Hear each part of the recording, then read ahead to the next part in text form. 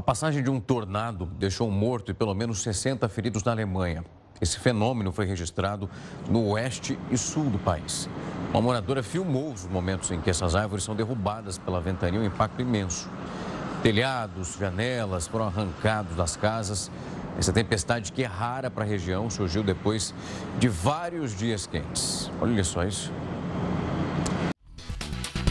Análises profundas sobre política e economia, interatividade com o telespectador, informações essenciais com agilidade e dinamismo. Essa edição do Ara News está começando. Diferentes pontos de vista. Vamos olhar agora para um outro ponto. Os acontecimentos que são destaques pelo país e o mundo. Obrigada pela audiência. As novidades e os bastidores do entretenimento.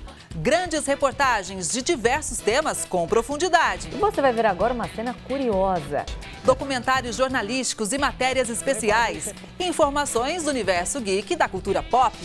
Natureza, aventura, turismo e curiosidades. Está começando o Aldeia News. As novidades do agronegócio e do empreendedorismo agrícola. O Record News Rural está no ar. Conteúdo interativo do mundo animal.